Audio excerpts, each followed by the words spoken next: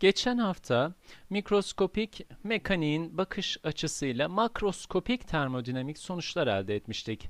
İstatistik mekanikte bu dersin başından beri yaptığımız gibi deneysel makroskopik gözlemler, fikirler ve makroskopik yasalarla işe başlamak ve bunların sonuçlarını incelemek yerine mikroskopik bir modelle başlar. Bölüşüm fonksiyonları cinsinden enerji seviyeleri tanımlanır.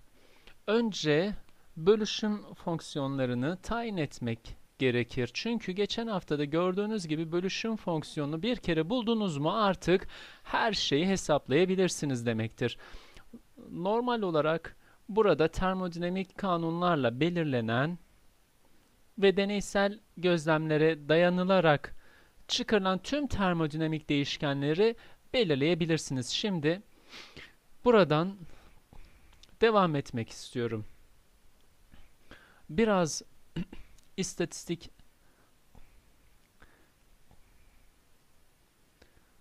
termodinamik istatistik termodinamik yapacağız. Ve temel olarak birkaç örneğe bakacağız ve makroskopik termodinamik değerleri hesaplar, hesaplarken mikroskopik bir görüntüden nasıl faydalanacağını göreceğiz. Şimdi birkaç örnek yapalım. İşe tamamen entropiye bağlı iki tane örnekle başlayalım. Bunları daha önce makroskopik açıdan inceledik. Şimdi de bu sonuçları bölüşüm fonksiyonları kullanarak çıkaralım. Dediğimiz gibi önce entropiye bağımlı işlemlere bakalım. Bunlardan birincisi ve en basit bir gazın serbest genleşmesi. Burada bir gazı belli bir hacme sıkıştırıp daha sonra bu hacmi vakuma karşı genleştirdiğimizde gazın tüm hacmi kaplıyordu. Bunu termodinamik açıdan incelemiştik. Şimdi de istatik mekaniksel olarak inceleyelim. Hacim V1 gazımız burada. Burası vakum. Aradaki bariyeri kaldırıyoruz ve elimizde daha büyük bir hacim olan V2 var ve gaz gaz buraya doluyor. Geçen hafta ötelenme hareketi için örgü modelini görmüşsünüz. Ben de biraz başlamıştım zaten. Bu istatistik mekaniksel olarak bir hacimi moleküller ile doldurmanın en basit yolu.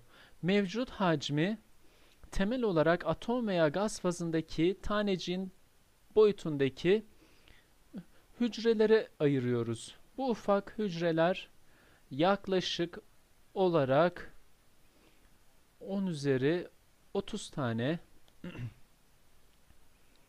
çünkü bunların boyutları atomlar angstrom civarında olup moleküllerinkinden biraz daha büyük. Angstrom küp civarında olup biraz daha büyük. Mevcut hacmin boyutu ise metreküp civarında. Angstrom 10 üzeri eksi 10 metre olduğuna göre bunun kübü 10 üzeri eksi 30 metreküp olur. Dolayısıyla bu ufak bölmelerin veya hacim elemanların sayısına bakarsanız bu 10 üzeri 30 civarındadır.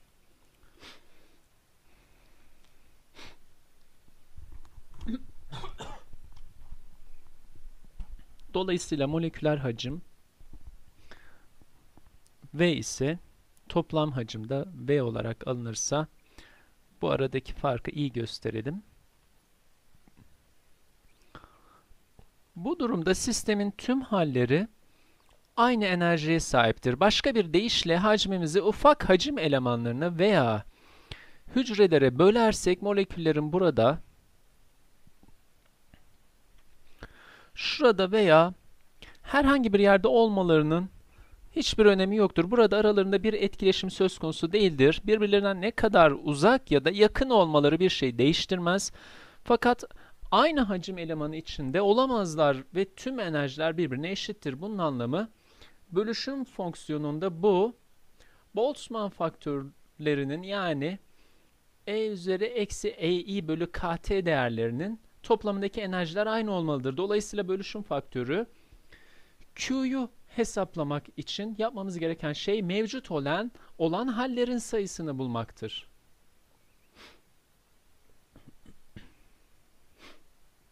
Ötelenme enerjisi sıfıra ayarlanmıştı. Sistemin ötelenme enerjisi de sıfıra ayarlayalım. Tüm mikroskopik haller veya molekülün girebileceği tüm halleri aynı. Eğer sistemin mikro halini alırsak bu hallerde bulunan taneciklerin enerjileri de aynı olur. Bunun anlamı Q eşittir büyük V bölü küçük V'dir. Peki kaç tane hal vardır? Elimizde ufak bir hacim var. Burada kaç tane tek hücre varsa o mevcut hallerin sayısına karşılık gelir. Dolayısıyla büyük V bölü küçük V yaklaşık olarak 10 üzeri 30 olur. Büyük V bölü küçük V yaklaşık olarak 10 üzeri 30'dur. Q yani büyük Q tüm sistem için olan kanonik bölüşüm fonksiyonu için daha önce de gördüğümüz bir yöntemi kullanacağız. Önce birinci atom alıyoruz. Bu atom bu hallerden herhangi birine sahip olabilir. Tabi burada 10 üzeri 30 tane olasılık var. Daha sonra ikinci atom alıyoruz ve bunun da 10 üzeri 30 tane olasılığı var. Üçüncü atom için de 10 üzeri 30 tane. Mevcut olan atom veya moleküllerin sayısı hacim elemanı sayısından çok daha küçük olduğundan gaz fazı ile ilgilendiğimizden ilk 1 milyon hacim elemanı doldurunca sonraki gelenler için olan mevcut sayı daha az olacağı gibi hususlarla ilgilenmeyeceğiz. Bu doğrudur ancak bu toplam sayının çok çok küçük bir miktarı olduğundan üzerinde durmaya bile değmez. Dolayısıyla büyük Q eşittir küçük Q üssü n olup n tanecik sayısıdır. Tabi bu sayıyı n faktöriyele bölerek birbirinden ayırt edilemeyen taneciklerin tekrar sayılmasını önleriz. Buna göre muhtemelen burada bir atom var. Burada da bir tane. Buradaki bu atomların yerlerinin değiştirilmesi durumundaki konfigürasyonu birbirinden ayırt etmek mümkün değildir. Çünkü her ikisi de her ikisi de benzer atomlardır. Pekala. Burada büyük Q var ve bir de sistemin dejenerasyonu var.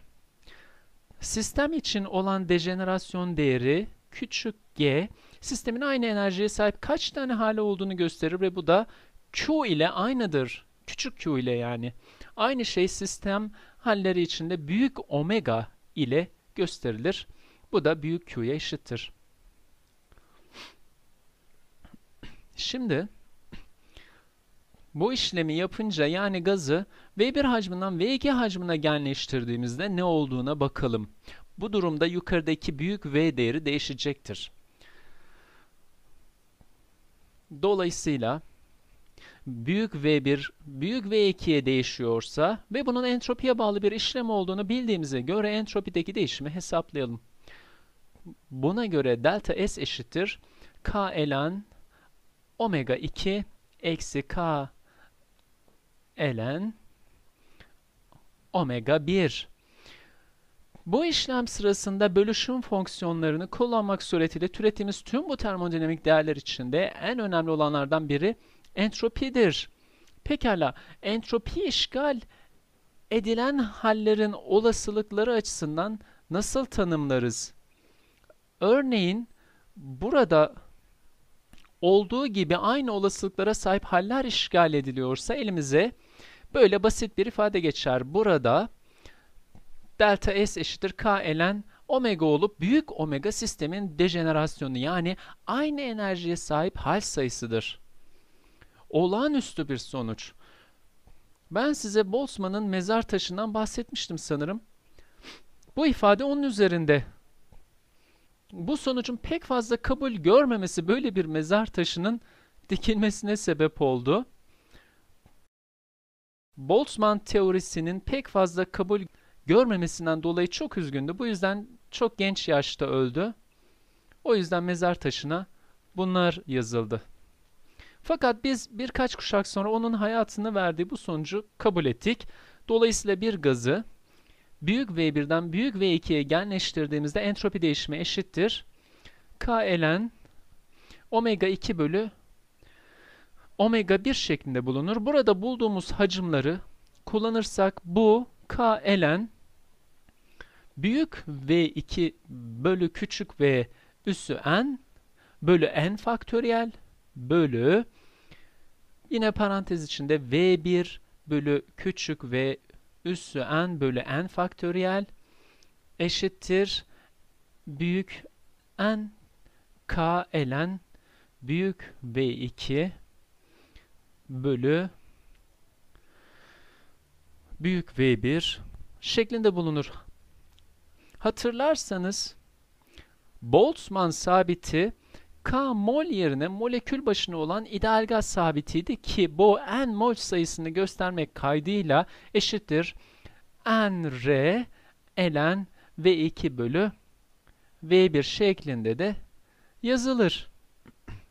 Bu size aşina bir sonuç olmalı. Bu gazın büyük V1'den büyük V2'ye serbest genleşmesi sırasında olan entropi değişimi. Bu ifadeyi son derece basit bir moleküler model kullanarak çıkarttık. Bu sonuca ve Boltzmann'ın bulduğu sonuçlara dayanarak bu hususu daha iyi anlayacağız. Daha önce de gördüğümüz üzere hacmin genleşmesi durumunda büyük V2 büyüktür V1 olması yüzünden entropi artıyordu. Ayrıca hatırlayacağınız gibi bölüşüm fonksiyonlarını Helmholtz serbest enerjisine de bağlayabiliyorduk. Buna göre A eşittir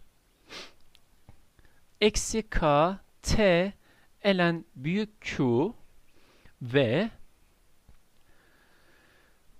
S eşittir eksi dA bölü dt sabit ve n değerindeydi. Bu da bize anında aynı sonuçları verir. Sadece buraya omega girer. Bu sonucu başka bir yoldan da bulabiliriz ama direkt olarak Boltzmann'ın entropi için elde ettiği değeri kullanmak çok daha pratiktir. Evet. Herhangi bir soru var mı? Şimdi daha karmaşık bir basamağa geçelim ve karışma entropisine bakalım. Serbestçe genleşen bir tür yerine elimizde iki tane tür var. Yine burada da bir genleşme söz konusu. Karışma da yine entropiye bağlı bir işlem. Dolayısıyla burada daha önce mikroskopik olarak incelediğimiz entropi değişimlerini rahatça hesaplayabiliriz. Şimdi bu olayı incelemeye başlayalım. Yazıyorum. Karışma entropisi. Burada elimizde VA hacmi içinde NA tane A molekülü, VB hacmi içinde de NB tane B molekülü olsun. Aradaki bariyer, bariyeri kaldırınca N eşittir NA artı NB ve V eşittir VA artı VB olur. Tabi bunlar büyük V ve büyük N'ler. Ve tüm işlem sabit sıcaklık ve sabit basınçta cereyan eder. Pekala. Şimdi entropi için başlangıç ve bitiş ifadelerini çıkaralım. Dolayısıyla S1 eşittir K ln omega A artı K ln omega B'dir. Bu da eşittir. K ln büyük VA bölü küçük v üssü na bölü na faktöriyel ve aynı şey b için de geçerli çarpı vb büyük v tabi bu bölü küçük v üssü nb bölü nb faktöriyel. Bu bizim başlangıç entropimiz. S2 yani son entropi eşittir K ln omega başlangıçtaki iki türün entropilerinin toplamı K ln büyük V bölü küçük V üssü N bölü Burada bildiğiniz gibi bir düzeltme faktörü kullanmalıyız. Bunu geçen derslerimizde de görmüştünüz. Bu düzeltme faktörü, faktörü NA faktöriyel çarpı nb faktöriyel başka bir deyişle fazla sayımı önlemek için kullandığımız faktör bu iki faktöriyelin çarpımıdır. Bu konuyu unutmuş olmanız ihtimaline karşı konu ile ilgili bazı açıklamalar var ve son derece basit iki örnek verdik. Burada iki molekül A 2 molekül B var. Bunlar örgü hücrelerinde farklı toplar şeklinde gösterilmiş. Bunlar notlarınızda mevcut olup gerekli hesaplamalar yapılmıştır. Buradaki önemli nokta bu örgü hücrelerini doldurmaya başladığımız zaman artık bunlar aynı değil. Buraya A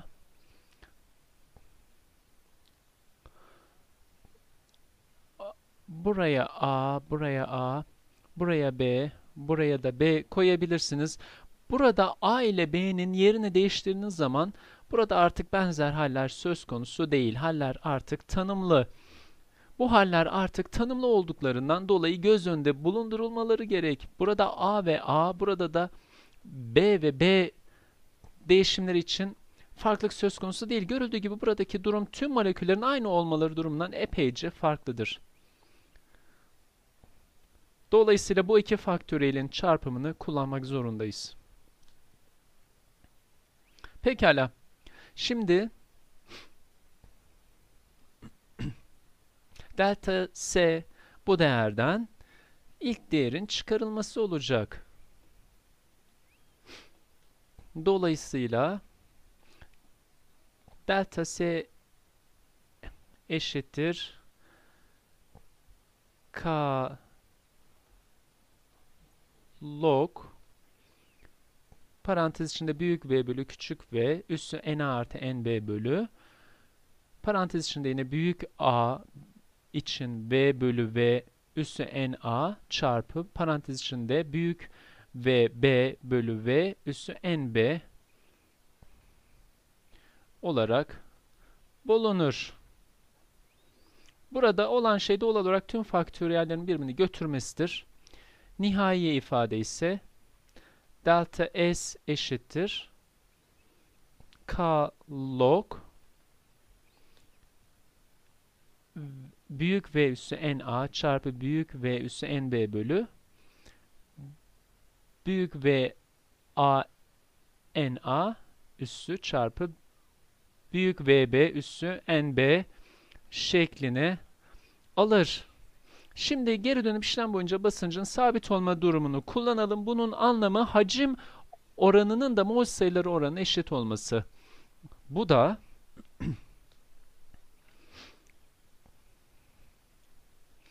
büyük büyük VA bölü V eşittir NA bölü N eşittir XA olur. Bu da A'nın mol kesri olarak bilinir. Aynı şey B için de geçerli.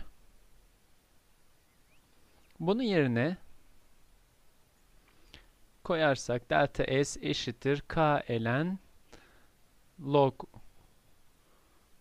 büyük V Aa, hayır eksi işareti koyarsak bu hmm, eksi K ln xa üssü na eksi k ln xb üssü nb şeklinde çıkar. Hacim oranları yerine x değerlerini koyduğumuz zaman. Bu da eşittir. Eksi büyük n çarpı k parantez içinde ln xa artı ln xb şeklini alır. Evet. Alışıl, alışıldık geldi mi? Aynı formülü daha önceden makroskopik olarak çıkarmıştık. Burada mikroskopik modeli kullanmaya devam etmek suretinde tüm mikroskopik entropi değişimlerini bulabiliriz. Ayrıca delta G gibi değerleri de bulmak mümkün. Burada katkı yapan yegane terim entropi. Bir tane daha entropiye bağlı problem çözelim. Bu diğerlerinden biraz daha farklı. Gelin sıvı karışımların entropi değişimlerine bakalım. Gaz ile sıvı arasındaki en önemli fark sıvıda her örgü hücresinin doldurulmuş olmasıdır ve gazlardaki durumdan epeyce farklıdır. Bu yüzden burada hallerin sayım şekli farklıdır. Çünkü burada hatırlarsanız gazlarda birinci molekül herhangi bir yere girebiliyordu ve bunun için 10 üzeri 30 tane olasılık vardı. İkinci molekül de belli bir yere giriyordu ve bunun için 10 üzeri 30 olasılık vardı. Ve hep 10 üzeri 30 tane olasılık devam etmekteydi. Çünkü olası hallerin yanında molekül sayısı çok küçük olduğundan olası hallerin yavaş yavaş dolacağı ihtimali kale alınmamaktaydı.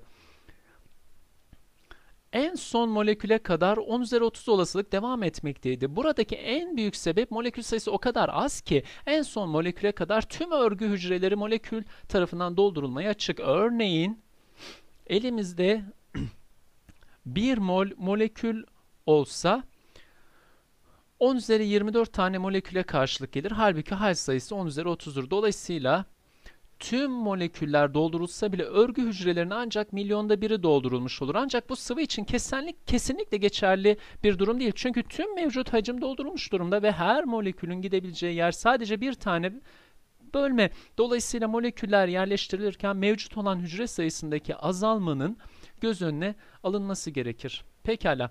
Buradaki istatistik biraz daha farklı. Şimdi sıvı karışıma bakalım. Burada birinci bileşen için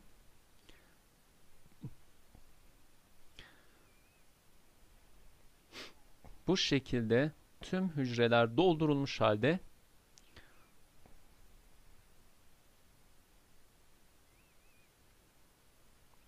İkinci bileşen içinse açık daireler kullanalım. Bu ikisini karıştırdığımız zaman doldurulmuş bir karışım ele geçer. Tabi daha büyük bir hacim mevcut ve tüm bölmeler gelişi güzel doldurulur halde. Dolayısıyla elimizde olası herhangi konfigürasyonu göz önüne almamız gerekecek. Pekala. Burada da aynı işlemi tekrarlamak durumundayız. Buna A, buna da B diyelim. Daha başlangıçta A sistemi için durum epey farklıdır. Buna göre bu basit modelde saf bir sıvının entropisi sıfır olmalıdır. Tabi bu gerçek bir durum değil. Ancak bu bize epey kolaylık sağlar. Çünkü buradan karışıma geçerken olan entropi değişimine olan diğer katkılar başlangıçtan sona kadar aynı olur. Yani büyük bir değişim göstermez. Entropi de tamamen karışımda örgü hücrelerinin gelişi güzel işgal edilmesinden kaynaklanır. Diğer katkıların hiçbir önemi yoktur. Dolayısıyla entropi SA eşittir K ln omega A. Burada sadece bir sistem hali vardır ve sadece bir tek yol olasıdır. Burada bunların yerlerinin değiştirilmesi de bir şeyi pek fark ettirmez. Çünkü bunlar ayırt edilemiyor. Dolayısıyla bu eşittir sıfıra. Bu da birdir. Sadece tek bir hal söz konusudur. Aynı şey B için de geçerlidir. Evet bu basit modelde başlangıç entropimiz budur. Burada delta S karışım eşittir S karışım olup başlangıç durumuna bağlı değildir. Bu da K ln n faktöriyel bölü na faktöriyel çarpı nb faktöriyel olur. Aynen daha önce de gördüğümüz gibi. Daha öncekinden farklı değil ancak burada daha öncekinden farklı olarak bu faktöriyel değerler basitçe birbirini götürmüyor. Bu husus daha önce de söz konusu olmuştu. Çünkü bu faktörler saf gazı entropiye katkısında söz konusu olmaktaydı. Buradaki yegane fark buranın sıfır olmasıdır. Bunun anlamı bu hususların göz önüne alınması gerektiği. Bunlarla uğraşması öyle kötü bir iş değil. Burada daha önce size göstermiş olduğum Sterling yaklaşımını kullanacağız. ln n faktöriyel yaklaşık olarak n çarpı ln n eksi n şeklindeydi.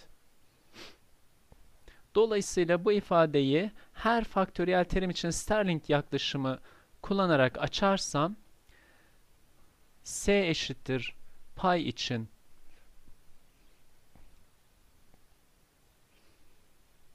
n çarpı ln n eksi n k paydadaki ilk terim için eksi parantez içinde na çarpı ln na eksi nak ve ikinci terim içinde artı nb çarpı ln nb eksi nb k çarpı k olur. Ancak nb ve na direkt olarak n'e eşit. Dolayısıyla bunlar birbirini götürür ve elimize bu eşitlik parantez içinde na artı nb çarpı k çarpı ln n. Bunları şimdilik beraber yazıyorum. Sonra ayıracağım. Eksi na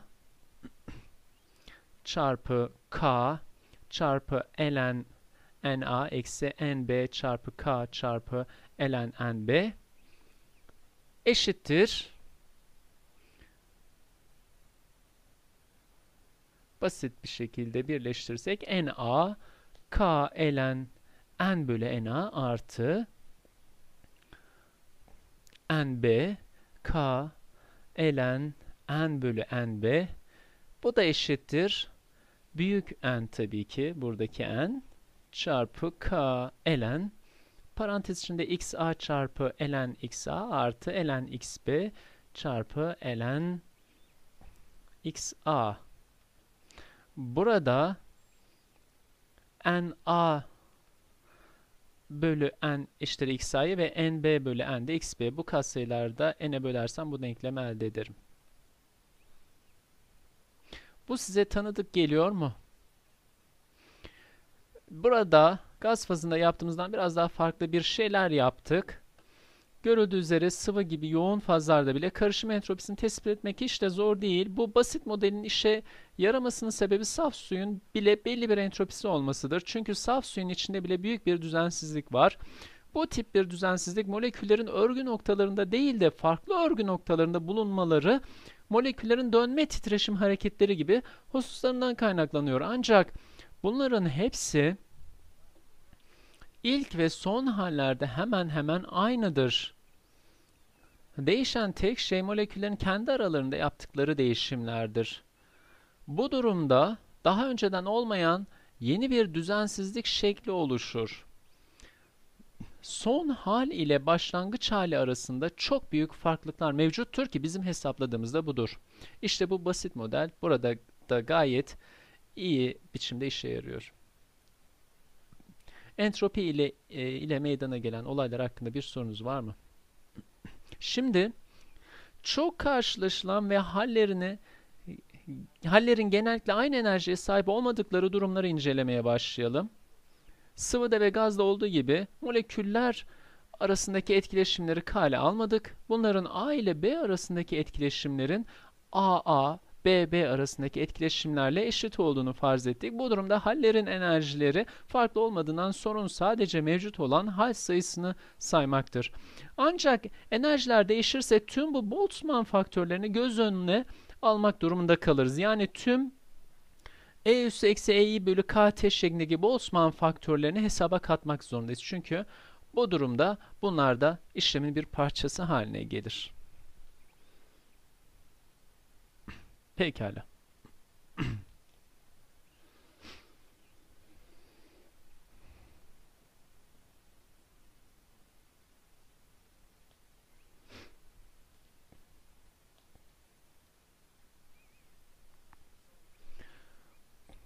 Burada da daha önce verdiğimiz basit polimer konfigürasyonu modelini göz önüne alacağız. Çünkü bu tip modeller ile şu veya bu şekilde çok karşılaşacağız. Bunun alınmasının sebebi bunun basit ve gerçekçi bir şekilde iyi tanımlanmış çok sayıda enerjiye sahip olan sistemleri temsil etmesidir.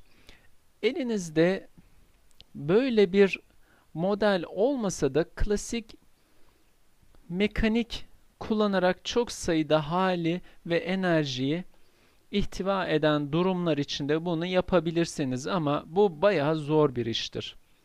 Çünkü bu durumda bölüşüm fonksiyonlarının tüm değerler, tüm konfigürasyonlar ve olasılıklar boyunca olan integraller haline gelir ve bu çok zor bir iştir.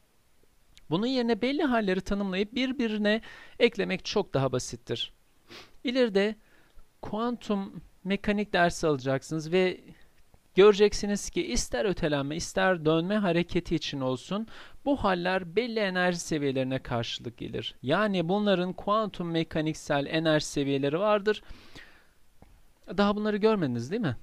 Dolayısıyla başlangıç noktası olarak bunu almayacağız. Bunun yerine farklı konfigürasyonları olan moleküller için olan özel halleri kullanacağız. Özel halleri kullanacağız. Evet.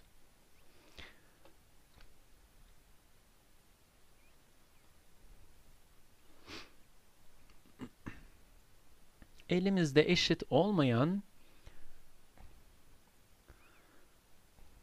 enerji halleri bulunsun. Burada yapmak istediğimiz şey moleküler veya polimer konfigürasyonlarını incelemek. İşte burada hallerimiz var.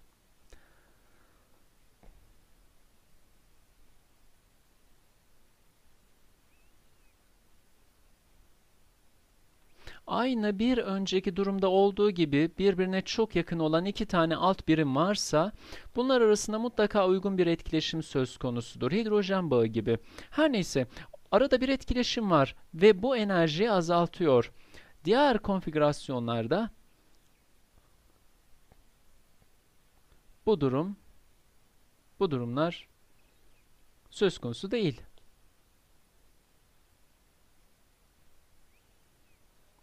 Çünkü alt birimler birbirinin yakın çevresi içinde değiller.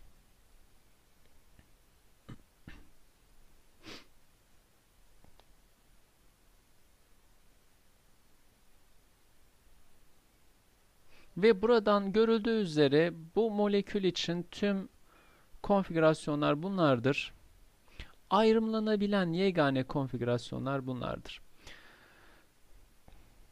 Dolayısıyla bizim moleküler enerjimiz E ki burada bunu sıfır olarak tanımlayabiliriz ki bunu daha önce eksi E etkileşim olarak göstermiştik. Bunu sıfır olarak göstermek bize kolaylık sağlar ve burada ise her hal için artı konfigürasyon enerjisi söz konusudur. Tabi istediğimiz yere sıfır enerji koyma hakkına sahibiz buradaki dejenerasyon bu durum için 1, bu durum için 3'tür. Pekala. Artık molekül için konfigürasyon bölüşüm fonksiyonunu yazabiliriz. Ayrıca sistem içinde kanonik bölüşüm fonksiyonunu yazabiliriz. Dolayısıyla küçük q konfigürasyon eşittir Tüm bu haller için toplam alacağız. Bu da en düşük hal için e üssü eksi 0 bölü kt. Daha sonra 3 tane halimiz var. Bu da 3 e üssü eksi e etkileşim bölü kt şeklindedir ve bu e etkileşim pozitif bir değerdedir. Dolayısıyla bu üç halin herhangi birinin olasılığı tek halin olasılığından küçüktür. Çünkü bu hal daha düşük enerjiye sahiptir. Hatırlarsanız size dediğim gibi bu üç halin herhangi birinin olasılığı bundan düşük olmasına rağmen bu üç enerjinin olasılıkları bu tek enerjinin olasılığından daha fazla olabilir. Çünkü bu halden bir tane olmasına rağmen bunun dejenerasyonu 3 olduğundan burada 3 tane olasılık vardır.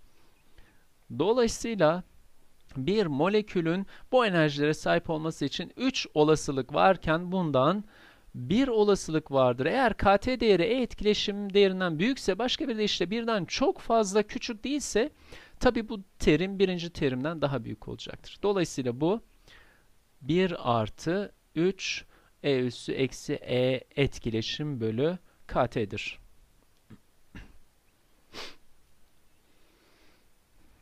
Kanonik konfigürasyon değeri olan Q konfigürasyon yani büyük Q tabii ki bölüşüm fonksiyonu eşittir küçük q konfigürasyonun eninci kuvvettir. Daha önce söylediğimiz gibi moleküller birbirinden etkileşmeyen tanecikler olsaydı sadece moleküler bölüşüm fonksiyonunu eninci kuvvetinin alınması yeterli olurdu. Tabi tüm bu moleküller birbirinden bağımsız olarak hareket ediyor olsaydı tüm bu haller boyunca toplam aldığımız zaman bu hallerin sürekli tekrarlandığını görürsünüz ki bu hususu yukarıda defalarca gördük. Taneciklerin sürekli yer değiştirdiği ötelenme durumunda bölüşüm fonksiyonunu en faktöriyele bölmek zorunda kalırız. Ancak konfigürasyon durumunda bu söz konusu değildir. Çünkü bu durumda herhangi bir haldeki konfigürasyon bu şekilde olurken başka bir haldeki konfigürasyon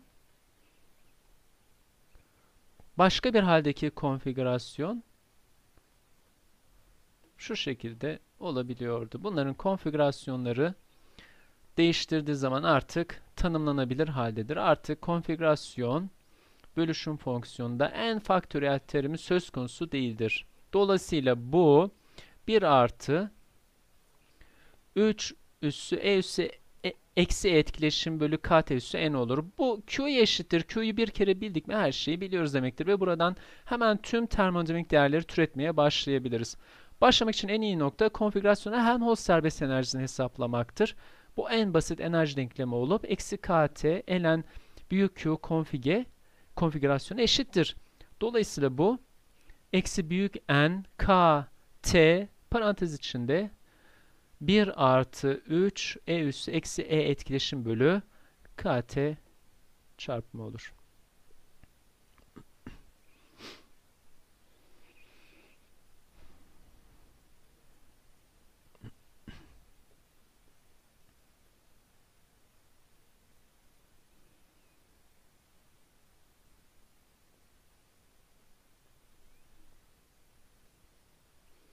Evet, A konfigürasyonunu farklı bir şekilde yazacağım. Burada kt yerine beta kullanacağım. Çünkü bu faktör çok kullanılmaktadır. Burada a eşittir eksi büyük n kt çarpı parantez içinde 1 artı 3 çarpı e üssü eksi beta e etkileşim bulunur. Burada a bu şekilde çıkar. Buradan tüm değerler bulunabilir. Diğer sonuçları çıkarmaya geçmeden önce burada bunun içinde en olduğuna dikkatinizi çekerim. Dolayısıyla burada molekül başına olan serbest enerji de söz konusudur. Toplam serbest enerji bu terim çarpı n büyük n şeklinde verilmektedir. Çünkü bu aldığımız moleküller birbirinden bağımsız olarak davranmaktadır.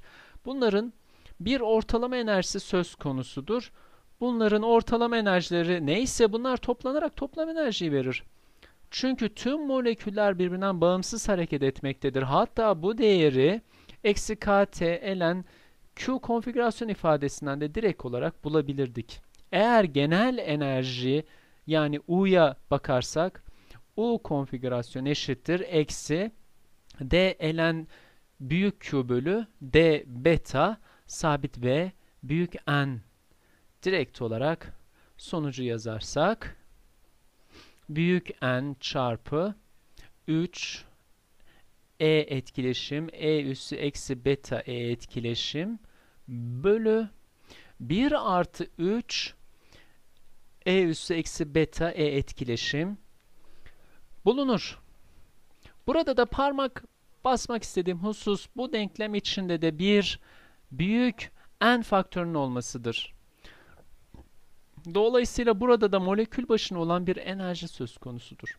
Dolayısıyla ortalama E konfigürasyon değerini yazarsak bu o bu değer U konfigürasyonel bölü büyük n'dir. Bu da n büyük n faktörü olmadan bu terime karşılık gelir. Tabii bunu ayrıca yukarıdaki moleküler bölüşüm faktöründen de direkt olarak elde edebiliriz. Ortalama ortalama e değerini yazarsak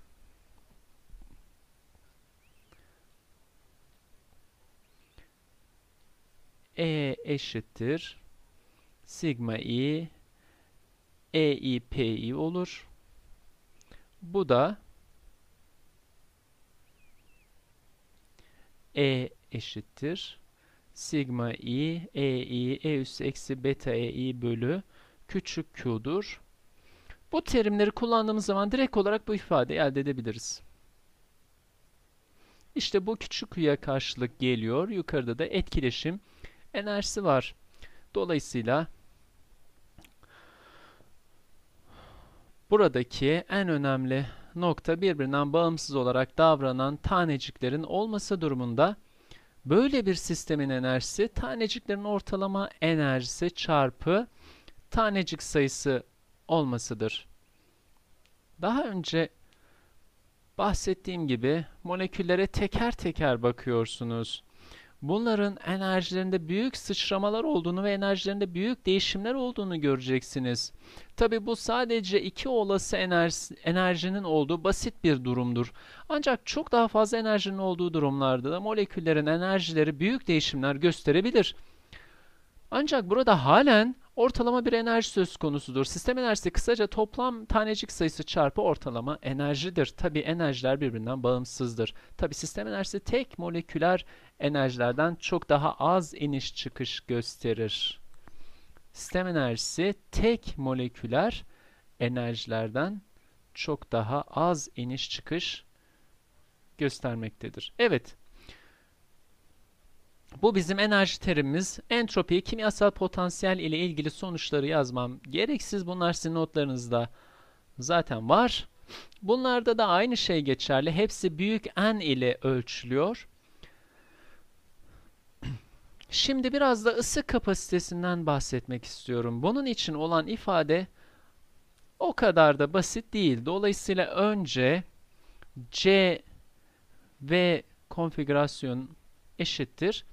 DU konfigürasyonel bölü DT sabit VN yazalım. Burada da detaylar notlarınızda mevcut. Onları tekrar yazmayacağım. Hatta sonucu bile yazmakta çekimserim ama şöyle bir şey.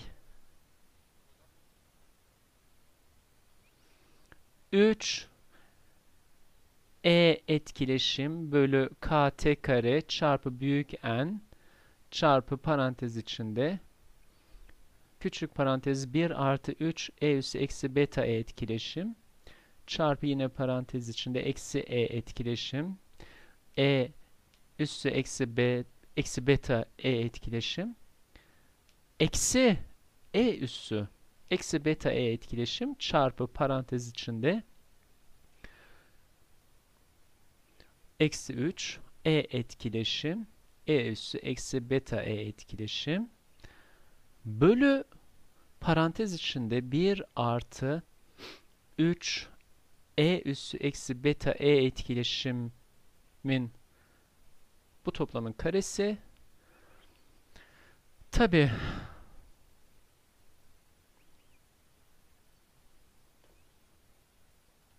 bu kadar karmaşık olmasının sebebi t'ye göre türev alırken zincir kuralını kullanmak zorunda kalmamız. Bu tabi daha karmaşık görünüyor ama detaylı fonksiyonlar zaten karmaşık. Burada vurgulamak istediğim şey fiziksel olarak çok kolay anlaşılan basit sınırların olduğu. Bunlar birçok sistemin anlaşılması açısından da çok önemli. Şimdi ısı kapasitesinin düşük ve yüksek sıcaklık sınırlarına bakalım. Bu istatistik mekanikte çok sık kullanılır ve çok sayıda sistem için onu epey basitleştiren sınır durumları vardır. Bunlar gerçekten önemli. Burada önemli olan şey de şu bu konfigürasyonları kapatmamam gerekiyordu. KT'nin E etkileşimden çok büyük olması durumunda olan olaylarda büyük bir fark var. Bildiğiniz gibi o şartlar altında diyelim ki sistem sıcak ve arada ufak enerji farkı var. Biliyorsunuz ki bu durumda olasılıklar hemen hemen eşit. Moleküler bu halde veya bu hallerde bulunabilir, bulunabilirler.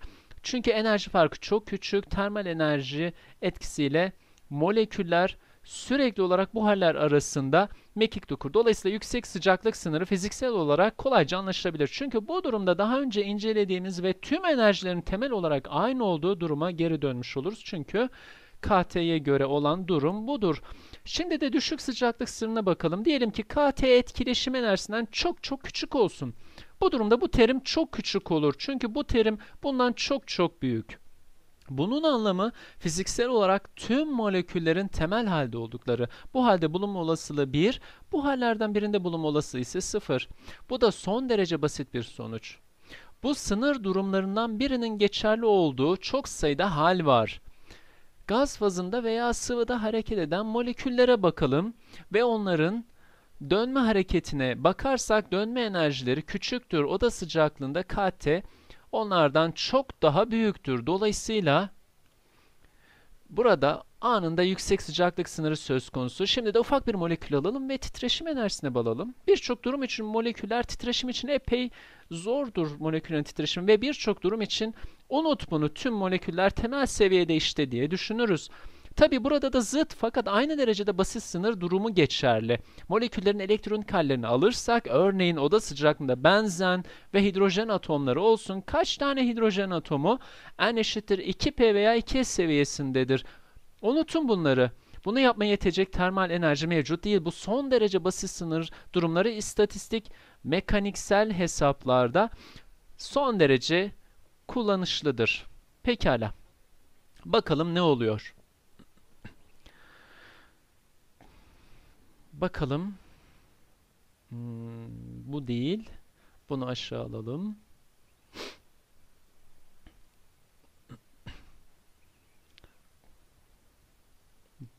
Sınır durumlarımıza bakalım. T sıfıra giderse tüm her şeyi yeniden anlatmayacağım. CV konfigürasyonda sıfıra gider. Bu sınırda daha önce anlattığım gibi burada E etkileşim var. Burada da 0 ve KT'de 0'ın biraz üstünde. Dolayısıyla buradaki moleküllerden hiçbiri buraya zıplamaya yetecek termal enerjiye sahip değil. Peki neden ısı kapasitesi 0 oluyor? Isı kapasitesi du bölü dt. Bu 0 çünkü işte KT'ye sistemi çok az bir miktar ısıtırsam türeve baktığımda sonsuz küçük bir miktar. Çünkü KT az bir miktar ısıtmayla sonsuz bir küçük miktar olduğundan Peki kaç tane molekül bu üst seviyede? Halen sıfır halen termal enerji molekülleri yukarıya çıkarmak için yetersiz. Dolayısıyla enerjinin sıcaklığa göre olan türevi ne olur? Sıcaklık değiştikçe enerji hiç değişmemiştir. Bunun anlamı ısı kapasitesinin de sıfır olduğudur. Pekala. Şimdi de diğer sınır durumuna bakalım. Yüksek sıcaklık sınırı. Tabi bu sonsuza gitmez. Bunun anlamı KT'nin e etkileşimden çok çok büyük olması. Bir önceki durumda KT etkileşim enerjisinden çok küçüktü. Tabi burada da sıfır değil. Buna bakınca da ısı kapasitenin sıfır olduğunu görüyoruz. Burada da sıfır. Çünkü burada şu sınırdayız.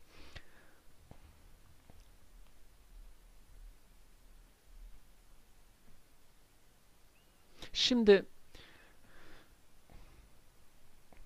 KT çok tepelerde bir yerde. Halbuki bir önceki durumda KT çok aşağılarda bir yerdeydi. Dolayısıyla yukarıdaki E üssü eksi etkileşim bölü KT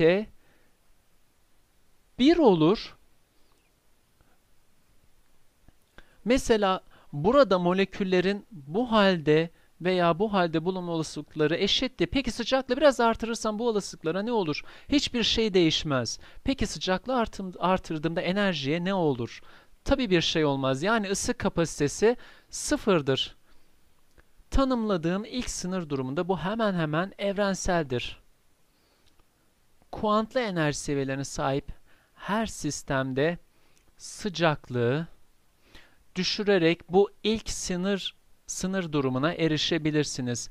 Burada KT ilk uyarılmış seviyenin çok çok altındadır ve her şey temel haldedir.